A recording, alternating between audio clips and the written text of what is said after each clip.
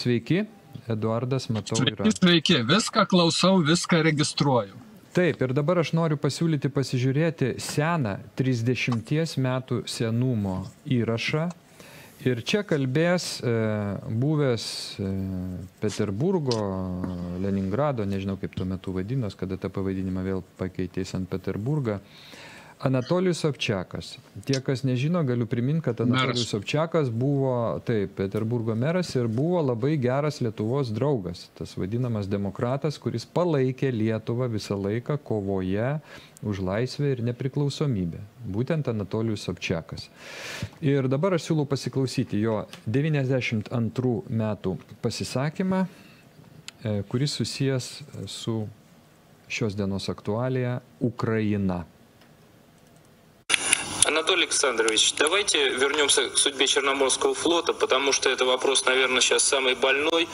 Э, Вот вы как политик, как э, юрист, вы видите возможность какого-то компромисса?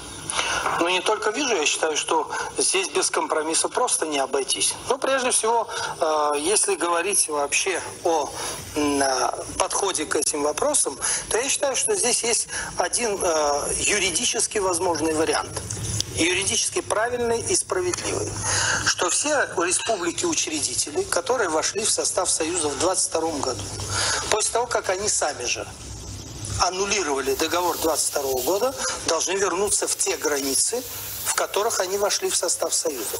Все же остальное, все остальные, так сказать, территориальные приобретения, это предмет для обсуждения, для переговоров и для принятия решений, потому что аннулировано основание. Ну, правда, президент Украины высказал мнение, что для него этот договор вообще не имеет никакой силы, как и все, что произошло при советской власти, хотя он тоже немалую руку к этому приложил в качестве секретаря э, ЦК и члена Политбюро Украины. Но э, он э, предпо- предпо- предпочитает вернуться к Переяславской Раде и к временам Богдана Хмельницкого. Но прекрасно, давайте вернемся к тому договору и вернемся к Украине в границах того договора. Все остальное должно быть предметом обсуждения и переговоров. Что же касается судьбы Черноморского флота, то, ну, я не хотел бы сейчас говорить о территориальных претензиях, там, скажем, о судьбе Крыма, но э, ведь известны э, достаточно большое количество прецедентов, когда военно-морские базы находятся одного государства на территории другого государства, даже если предположить такую нелепость, что Крым это территория Украины. Так вот, э, с этой точки зрения я считаю, что вполне возможно соглашение между Россией и Украиной. Но, э, насколько мне известно, Севастополь никогда не был базой украинского военно-морского флота. Это всегда была база российского флота. И э, это ситуация, которая не может измениться под влиянием каких-то сиюминутных обстоятельств. То, что складывалось веками в один день, даже если это э, решили представители коммунистической номенклатуры в купе с националистами, это в один день изменить невозможно. А допустим, что Украина на это Один не 15 секунд согласна. Тогда действия России это экономические, я не знаю, санкции, еще какие-то в Нет, ответ я считаю, что здесь э, да, дело не только в России. Я считаю, что здесь э, это вопросы для международного сообщества, потому что действия Украины в отношении, э, скажем так, советской армии и флота, это действия, которые представляют колоссальную угрозу для всего человечества в целом. И поэтому здесь вполне возможно э, проведение ими определенной международной конференции, переговоров, э, связанных, э, скажем, под эгидой, э, скажем, Организации Объединенных Наций с участием э, ведущих стран мира для того, чтобы выработать определенные взаимоприемлемые решения. Я противник решать какие-либо территориальные конфликты силой. Здесь должны быть переговоры, но здесь и нельзя упускать время. Нельзя допускать, чтобы э, Украина уже создала такую армию, которую, если она создаст, она обязательно пустит в ход. Я в этом ни минуты не сомневаюсь и считаю, что сегодня мы закладываем мину под не только наше будущее, но и будущее всего человечества. Na, kaip pranašas kalbėjo. Vienu žodžiu, prieš balsu. 30 metų taip taikliai pasakyti, na, bet žmogus buvo informuotas. E, Gerbiamas Eduardai, jūsų žodis, jūs mašinai patogiai sėdit. Bet kad čia net nėra ką pridėti. Kas nori, tie mato. Kas nori, tie mato. Bet kiti, kurie nenori, tai sako, dalinam po lygiai. Mano pusė, tavo pusė, bet tavo pusė tai turi būti dar kartą padalinta. Apie teisybę ir teisingumą nieks seniai nebekalba. Aš noriu kalbėti apie teisybę ir teisingumą, ar ne? Sako, politinės realijos yra tokios, o dabar Ukrainai Krymas priklauso. Kodėl? Todėl, kad priklauso. Lietuvai priklauso e, Memelio kraštas. Lietuvai priklauso Memelio kraštas, nes Vokietija yra pasakius, kad jinai nebenori keisti teritorinių pretenzijų turėti po antro pasaulinio karo. Vokietija sutinka, kad Memelio kraštas, kuris 500 metų jiems priklausė, dabar priklausytų Lietuvai. Tvarkoj.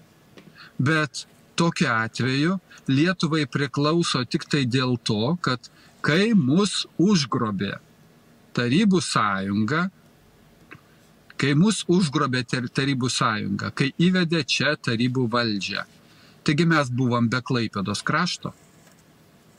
Tai kai mes išstojom iš Tarybų sąjungos, tai tada mes irgi turėjom išstoti be Klaipėdos krašto. Nes tai būtų teisinga.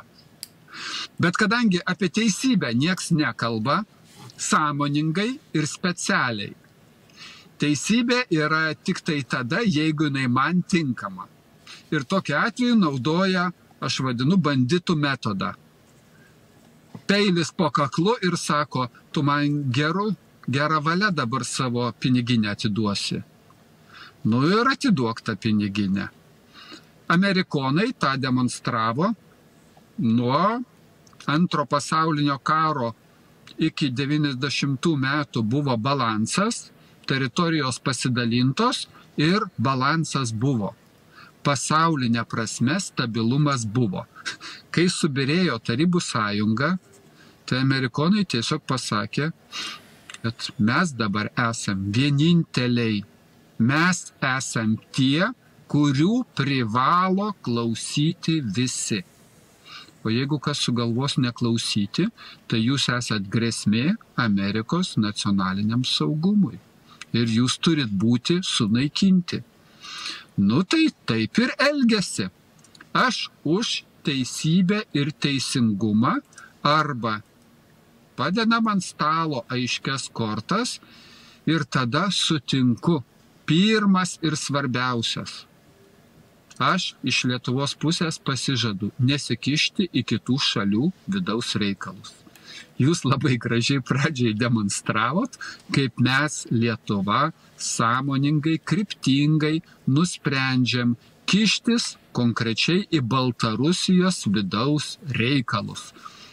Lietuvos sostiniai mes įkurdinom Baltarusijos antrąją vyriausybę tremtyje kuri dabar organizuos karinę intervenciją. Nu, tai ką tada turi padaryti oponuojanti pusė? Jeigu mes tiesiu tekstu kalbam apie karinę intervenciją.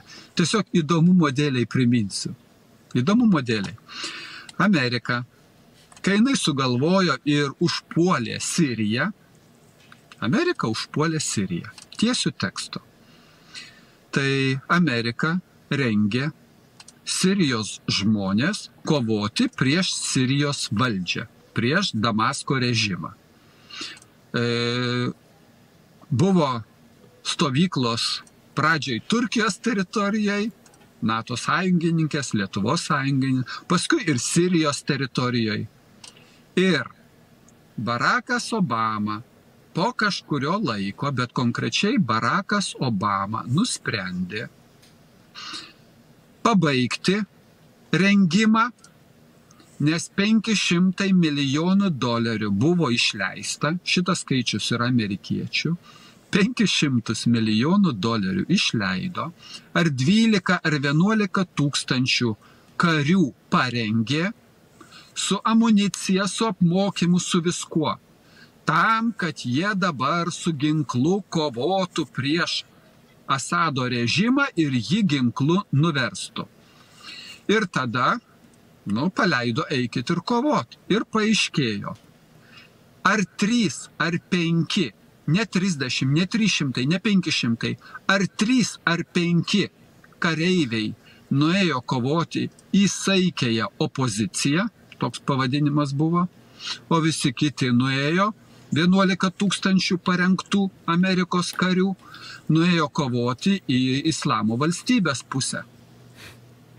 Tai kai šitas viešai jau nu, nebuvo galima paslėpti, viešai paaiškėjo, kad Amerika rengia karius islamo valstybei, su kuria atseit Amerika kovoja Sirijos teritorijoje. Nu tai Obama uždarė 500 milijonų dolerių kranelį, tiek pinigų išleista. Nu, dar nepamirškit, kad ir biznis. Nu tai ir parengiam karius, su kuriais reikia kovoti. Ir su savo kariais kovojam prieš Asado režimą. Kodėl? Todėl, kad jis blogas. Kodėl? Kas pasakė, kas blogas, aš pasakiau. Aš esu galutinis teisėjas liudininkas, galutinis sprendėjas. Bet kaip Kazimieras gražiai vis rodo apie prokurorą, tą, kuris labai patikimo veido ir sąžiningai juos kaltins. Aš esu tas, kuris nusprendžia ir paskiria, kas turės būti kaltas.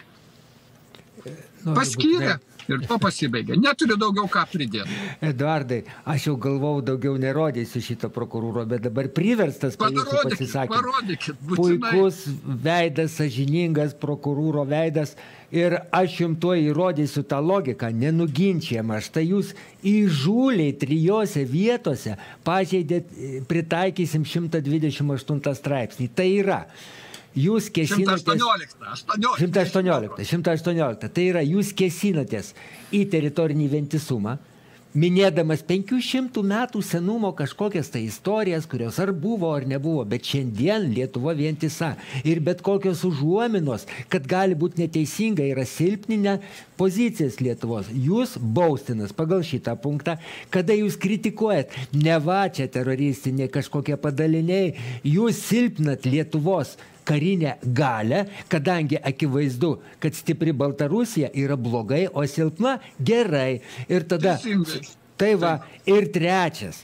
Įžūliai, kalbėdamas negatyviai apie, arba tegu jūs atrodo ir tiesą sakot, jums atrodo subjektyviai, kai tiesa apie Sirijoje veiksmus kažkokius, jūs silpninat karinę mūsų sąjungininkų ir mūsų bendrai Taip. galę.